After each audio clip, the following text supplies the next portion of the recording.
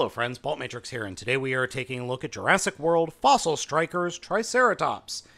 There's a lot of branding on this box, and there's a lot of branding on the Velociraptors box as well, but the big things are STEM, science, technology, engineering, and math, and Triceratops. But then Fossil Strikers is in very little font right there, about to be eaten by a Velociraptor.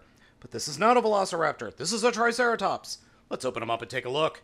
Contained within the box are a stand for the completed figure, a stand for the collector card, the DNA activator in its own little container, and then six bags of dinosaur parts.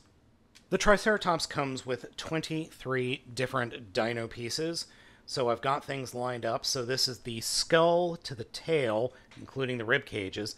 These are the front feet, and these are the back feet. So we're going to go ahead, get them all assembled up for you with some jaunty tunes.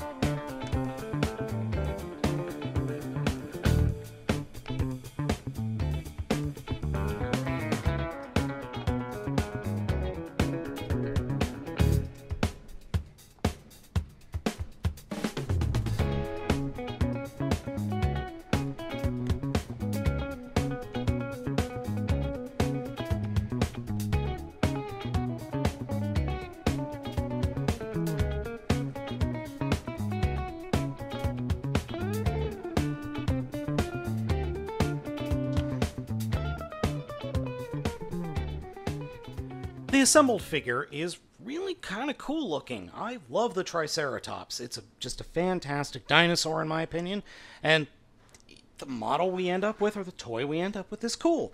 However, getting him put together requires a tremendous amount of figure strength, finger strength.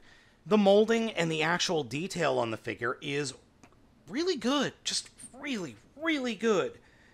And it works incredibly well yes, the numbers that are right there, whoop, that are right there, do stick forward, but I'm sure if I assemble it slightly differently, you can get the numbers hidden away. So there is that. I, like I had the figure standing on his stand here, front, back, or you could turn it around, back, front.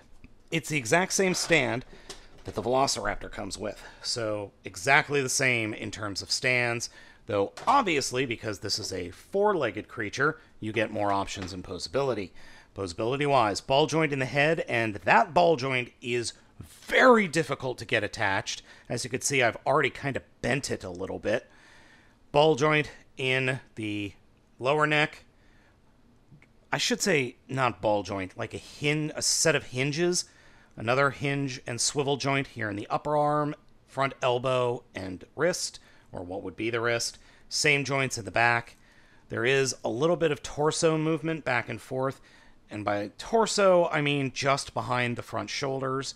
Tail articulation, set of hinges on there, set of hinge here, here, and here. So there are plenty of posability options, though you are a little. Oh, and the mouth can open and close. You are a little bit limited just to the overall bulk of the creature. Size wise, the Triceratops is definitely bulkier than the Velociraptor, though I'm not sure how this scales to reality. I, I honestly do not know. That I would have to Google. Now, compared to a Transformer, here is Pounce, who I keep seeing seeming to compare everything to. So, for about 10 bucks, you're roughly the same size as a Legends class figure. And in this case, a Legends class figure can totally ride the Triceratops. Heck, two Legends class figures can ride it if you're creative.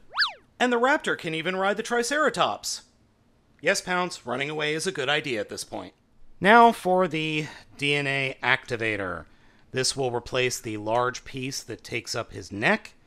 And uh, I'm really worried about this because I did not, or I do not think, that the component that is used for the Velociraptor is any good. So as you can see, there's no actual activation gimmick for this one. So let's get that in there on his head or on his skull, which uh, requires an obscene amount of effort. Oh, you've got to be kidding me. And I've got it attached correctly according to the directions. Pull back the head. Thought you're pushing down the head there. Press button for head thrashing action.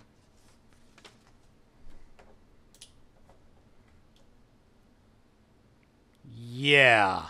The new Power of the Primes figures are available for pre order. Er? I love the idea of these fossil strikers. I think the idea and the concept is great. I love the fact that you could build skeletons, but the material they have chosen, the plastic that they're going with, is terrible. I mean, we're talking like Bandai early 2010 2011 Thundercats bad plastic here. Uh, the plastic is just awful. All the connectors, all the connectors are softer plastic than the actual bone castings. So you're going to damage pieces when you try to push them in and pull them out too much. Even moving them is just, there's way too much force required to move any of the legs around. It is just a shame because the idea is solid, the execution is not. Would I recommend this set? If you absolutely have to get this or the Velociraptor, get it, put it in Dino mode, and then leave it alone. Don't bother doing anything with it afterwards because, quite frankly, it's going to break at some point. So, folks, let me know what you think of the figure down in the comments. Hit that like and subscribe button, and be sure to hit the bell so you know when I put up a new, a new video review. As always, I am Baltmatrix, and I will catch you next time.